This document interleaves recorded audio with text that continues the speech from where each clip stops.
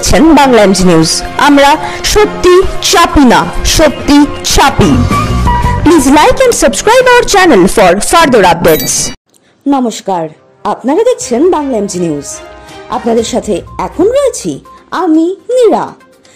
রাখছি আজকের বিশেষ খবরের দিকে। কলকাতায় আবার একবার বসল চাঁদের হাট।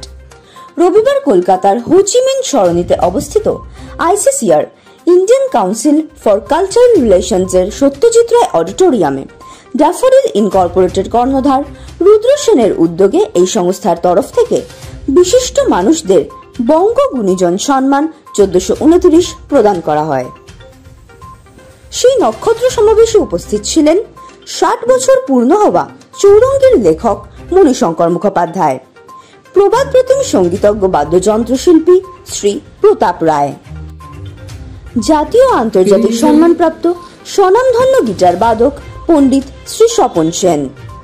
বিশিষ্ট সুরকার কল্যাণ সেন বরাট, বিশিষ্ট ফুটবলার সুব্রত ভট্টাচার্য, প্রথম দূরদর্শন সঞ্চালিকা চৈতালি দাশগুপ্ত, শাশ্বতী গুহ ঠাকুরতা, খ্যাতনামা বাচিক শিল্পী ব্রততী বন্দ্যোপাধ্যায়, খ্যাতনামা সংগীত শিল্পী নচিকেতা চক্রবর্তী, বিশিষ্ট তবলিয়া পণ্ডিত শ্রীমল্লার ঘোষ।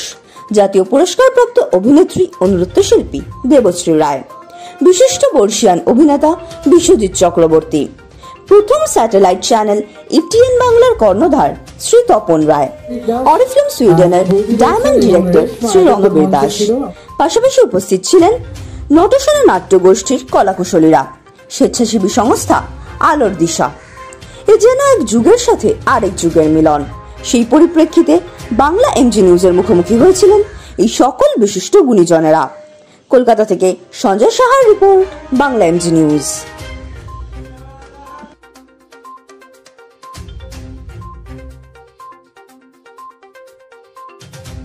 তিনি নিজেই এটা বলতে ভালোবাসেন যে না, আমি তাদের সান্নিধ্য পেয়েছি।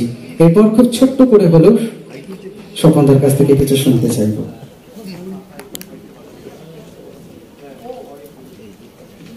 অরিফ্লেমের পক্ষ থেকে রেশমা রয়েছে। রেশমা ভালোবাসার কিছু গিফট হ্যাম্পার তুলে দিয়েছে স্বপনদার হাতে। এবার স্বপনদার কথায় যাব।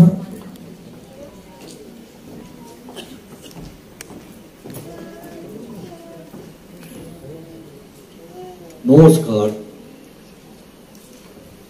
সবচেয়ে প্রথমে আমি হলের প্রত্যেকটি মানুষকে মাথা নিচু করে নমস্কার করলাম। আমাদের সঙ্গে এই মুহূর্তে রয়েছেন বাংলা, ভারতবর্ষ তথা সারা বিশ্বের অত্যন্ত গুণী এবং সম্মাননা প্রাপ্ত আন্তর্জাতিক সম্মান প্রাপ্ত সঙ্গীতকার বাদ্যযন্ত্র গায়ক শ্রী স্বপন সেন মহাশয়। স্বপনদা প্রথমত বাংলা ইঞ্জিনিয়ার আপনাকে স্বাগত। আমি প্রথমেই তোমাদেরকে ভালোবাসা জানালাম, আশীর্বাদ দিলাম। আচ্ছা আজ এই চাঁদের হাটে বঙ্গ গুণীজন সম্মাননা পেয়ে কেমন ফিলিংস হচ্ছে? দেখো মানে শুরু জীবনটা খুব খুব স্ট্রাগল সেখান থেকে যে আজকে এই সম্মানগুলো আমি পাচ্ছি এভরিডে চেয়ে বোধ হয় স্বর্গপ্রাপ্তি বলা যায় এটাকে। কারণ I got international award I got Paschimbanga Sangeet Samman. আমি আন্তর্জাতিক সম্মান পাওয়ার পর তারপরে সন্ধ্যা মুখার্জি অ্যাওয়ার্ড পেলাম আমেরিকা থেকে সন্ধ্যাদির সঙ্গে গেছিলাম। তারপরে লাইফ টাইম অ্যাওয়ার্ড পেলাম। এই আজকে যেটা আমার ঝুলিতে অ্যাড হলো বঙ্গ গুণী জন সম্মান। এতে আমার জীবন পরিপূর্ণ, আমার গায়ে কাঁটা দিয়ে উঠছে। কারণ শিল্পীরা টাকা রোজগার করে স্ট্রাগল করে। যতক্ষণ না ফ্লারিজ না হয় কিন্তু সবার উপর আমার মনে হয় সম্মান ভালোবাসা সেইটা পেয়ে আমি আপ্লুত আনন্দিত অভিভূত। আজকের এই বঙ্গ গুণীজন সম্মান আপনার পাওয়া সেই আন্তর্জাতিক সম্মান দুটোর মধ্যে কি কোনো তফাৎ করতে পারছেন?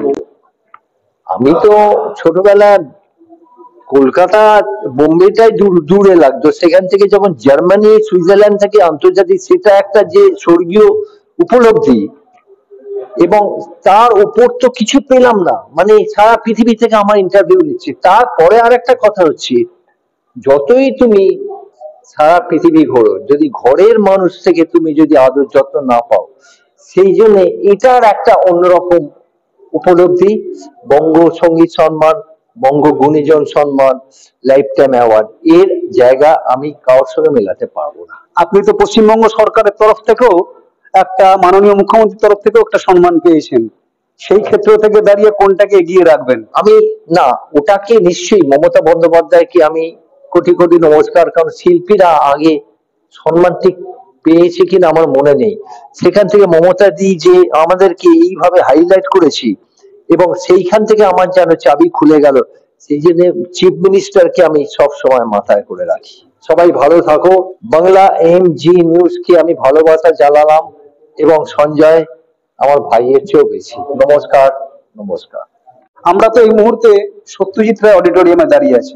এই মহান মানুষটার সাথেও কি আপনি কাজ করেছেন? বাবা আমি আমি আমি বলা আমার স্পর্ধা নেই কারণ ইনি এনার নাম আমি দিই এনসাইক্লোপিডিয়া পৃথিবীর যে কোনো পয়েন্ট যে কোনো দিক, একটা কথা আমার মনে পড়ছে আই প্লেড বারোটা বইতে ওনার ছবিতে কাজ করেছি। এবং কতই রঙ্গ দেখি দুনিয়ায় কতই রঙ্গ দেখি আর আহা কি আনন্দ আকাশে বা আমি সমস্ত গানে বাজিয়েছি। এবং মানিক দা, অর্থাৎ সত্যজিৎ অর্থাৎ অস্কার উনিনার মহান ব্যক্তিত্ব, উনি আমাকে বললেন কোন স্কেলে বাজাও টুয়েস্টিং গিটার কি, কোন তারের কি অক্টেভ তুমি লাগাও? আমি স্টান হয়ে গেলাম প্রথম দিনই, সেই জন্য আমি ওনাকে জায়গা আমি করতে পারব না। একটা জায়গা বলব, তিনজন মানুষকে আমি মাথায় করে রেখেছি।